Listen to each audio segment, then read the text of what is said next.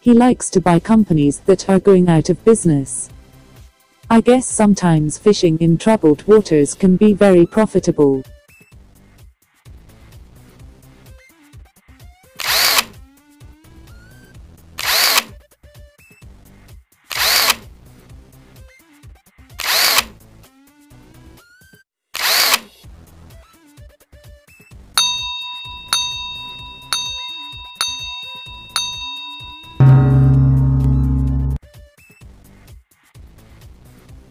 I could tell by his broad, open-ended questions that he was just fishing for some information.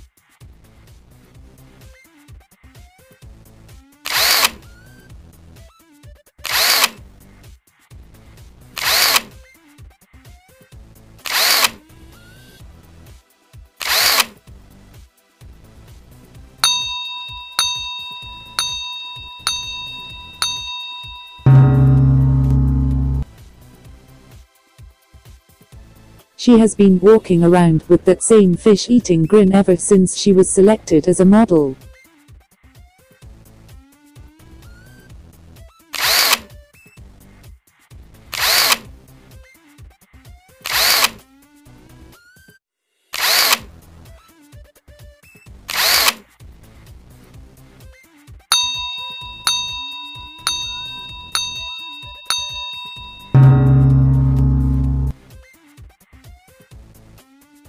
After firing the company's top model, he found himself in a fine kettle of fish.